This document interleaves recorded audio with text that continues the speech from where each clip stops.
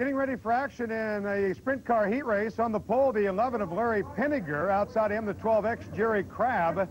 Second row, the 88 Tim Holtzworth. Outside him, the 37 Mike Thomas right here from Des Moines. Third row, the 55 Bob Hildreth and the 12 of Lyle Sylvester.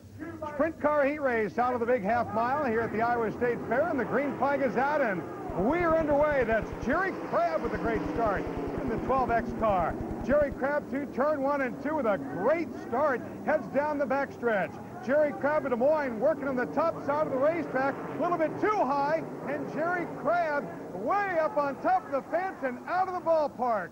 Jerry Crabb of Des Moines of the 12X who jumped out to an early lead exits the ballpark here at the Iowa State Fair. Let's take a look at the replay of Jerry Crabb exiting over turn three and four. You can see him getting up and over and completely out of the racetrack here at the Iowa State Fair Speedway. And we certainly hope Jerry Crabb is okay. And as we get word from turn three and four, Jerry Crabb is out of the car and a-okay. Let's get out of the pit area and Mike Newell.